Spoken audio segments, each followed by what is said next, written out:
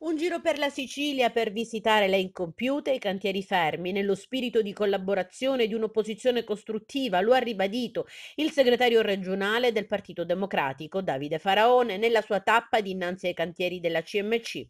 Una manifestazione che è partita dal campo base dei lavori della Palermo Agrigento a Caltanissetta.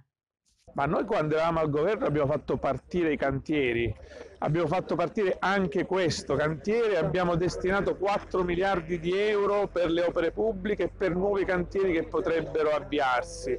Il problema è, chi, è, che chi oggi è al governo invece sta bloccando le opere pubbliche che noi avevamo finanziato, stanno rivisitando tutto, vi faccio l'esempio della Ragusa Catania, c'erano già gli espropri esecutivi e loro hanno bloccato tutto.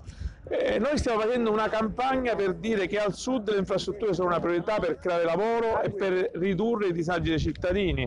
Il fatto che si parli per eh, bocca di questo governo soltanto della TAV, che per noi va fatta, ma che è alta velocità, che qui sconosciamo e dovrebbe essere un tema che riguarda anche il mezzogiorno, e invece è scomparso dall'agenda di questo governo il tema delle infrastrutture al sud, io credo che sia un fatto grave e stiamo facendo una campagna proprio proprio per attenzionare questo tema. Quale potrebbe essere la soluzione? Avete una soluzione per questa vicenda che riguarda la CMC? Si parlava di integra, si parlava di un subentro. Ma intanto bisogna salvaguardare i posti di lavoro, questa è la cosa essenziale, bisogna aiutare le imprese che hanno investito su quest'opera pubblica e serve subito che il governo regionale e il governo nazionale intervengano. Invece noi vediamo, abbiamo fatto un'interrogazione proprio in questo senso per chiedere a Toninelli anziché sparare fesseria a destra e a manca su tutto quello che riguarda le infrastrutture di occuparsi di convocare immediatamente un tavolo per sbloccare questa situazione e naturalmente il tema riguarda tutte le infrastrutture siciliane.